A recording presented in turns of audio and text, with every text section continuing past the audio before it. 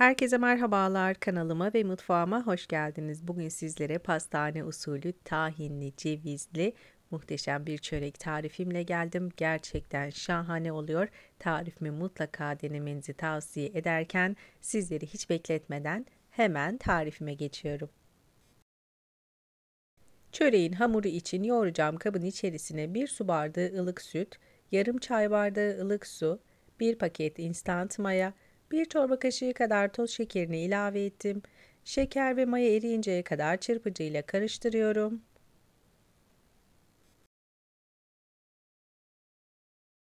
Daha sonra içerisine 1 çay bardağı sıvı yağını ekledim. Eklemiş olduğum sıvı malzemelerimi iyice karıştırdıktan sonra hemen içerisine unun bir kısmını ilave ediyorum. Tarifte bir tatlı kaşığı kadar tuz kullandım. Onu da içerisine ekledikten sonra hamurum yoğunlaşana dek spatula ile karıştırmaya başlıyorum. Tarifte toplamda 4 su bardağına yakın un kullandım.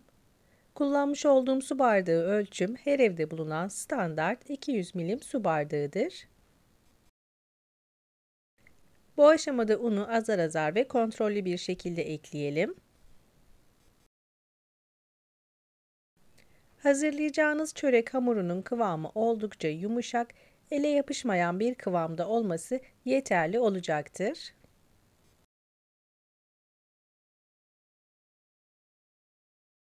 Hamuru iyice yoğurdum ve toparladım. Hemen üzerini streçle kapatarak ortam sıcaklığına göre yaklaşık hamuru 1 saat kadar mayalandırılması için bekletiyorum.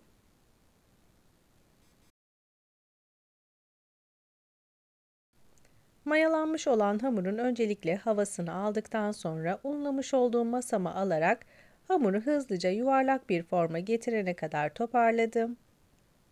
Bir kesme aparatıyla hamurumu iki eşit parçaya bölüp bölmüş olduğum hamurları ellerimle yuvarlayarak bezeler haline getiriyorum. Hamurların daha kolay bir şekilde açılabilmeleri için yaklaşık 5 dakika gibi bir süre beklettim. Merdane ile hamurumu inceltebildiğim kadar incelttikten sonra oklava ile hamurumu hemen açmaya başlıyorum.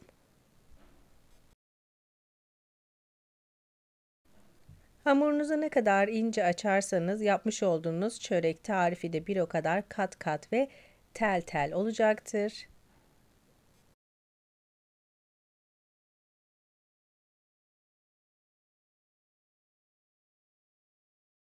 Hamuru yeteri inceliğe getirdikten sonra yarım su bardağından biraz fazla olacak şekilde tahini hamurun her tarafına gelecek şekilde döktükten sonra ellerimle her tarafına yayıyorum.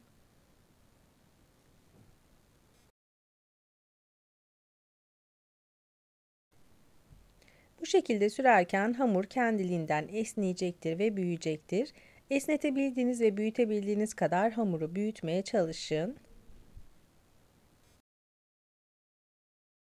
Tarifi hazırlarken buraya kadar gelmiş olan siz değerli takipçilerimden her zaman olduğu gibi yoruma kalp olur, emoji olur veya tarifim hakkında herhangi bir fikriniz varsa bunu benimle yorumlar kısmına yazarak paylaşabilirsiniz. Tarifim için kullanmış olduğum tüm malzemeleri videomun altındaki açıklamalar kısmına ölçüleri ve miktarları ile birlikte ekleyeceğim. Dilerseniz oradan bakarak da faydalanabilirsiniz. Tahini hamurun üzerine yeteri kadar yaydıktan sonra yaklaşık 2 yemek kaşığı kadar toz şekerini ellerimle hamurun üzerine serpiştirdim. Daha az tatlı seviyorsanız 1 yemek kaşığı kadar da serpiştirebilirsiniz. Hamuru hemen hızlı bir şekilde rulo şeklinde sarıyorum. Kalın olan yerleri de esnettikten sonra hamuru bu şekilde inceltebildiğim kadar incelttim.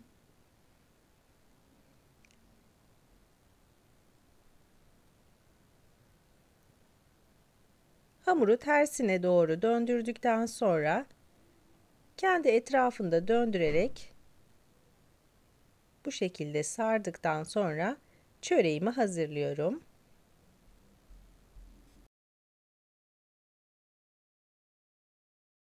İkinci hamurumu da aynı şekilde açtım ve hazırladım. Görmüş olduğunuz gibi şeklini verdikten sonra yağlı kağıt sermiş olduğum fırın tepsimin içerisine aldım. Tepsi mayası için en az 20 dakika gibi bir süre beklettim.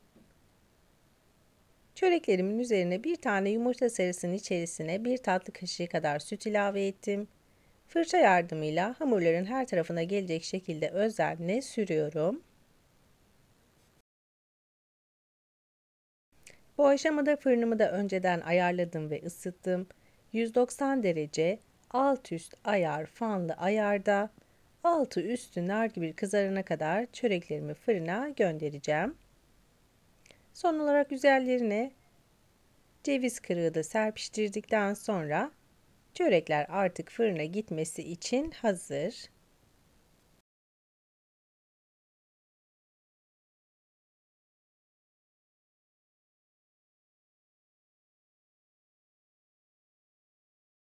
Dilerseniz kahvaltılarınızda, dilerseniz beş çaylarınızda hazırlayabileceğiniz oldukça lezzetli, şahane bir pastane usulü tahinli çörek tarifi paylaşıyorum bugün.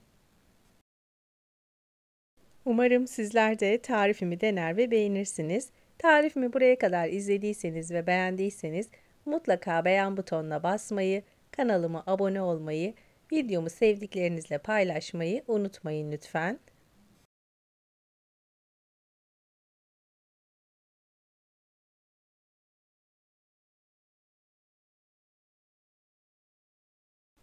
Tarifimi şimdiden yapıp deneyecek olanlara afiyet olsun, kolay gelsin.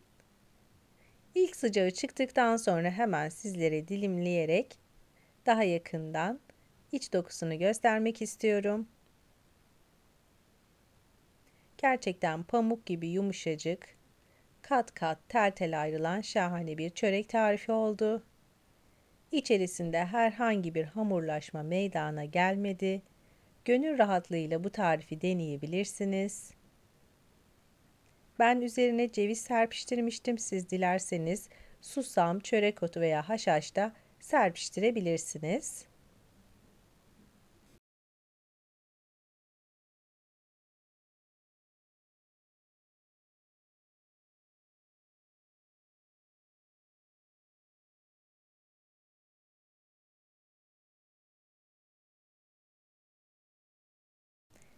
Sizler tarifimin son halini izlerken ben de sizlere veda edeyim. Bir tarifimin daha sonuna geldik. Videomu izlediğiniz için çok teşekkür ederim. Başka tariflerde, başka lezzetlerde görüşmek üzere. Hoşça kalın. Allah'a emanet olun.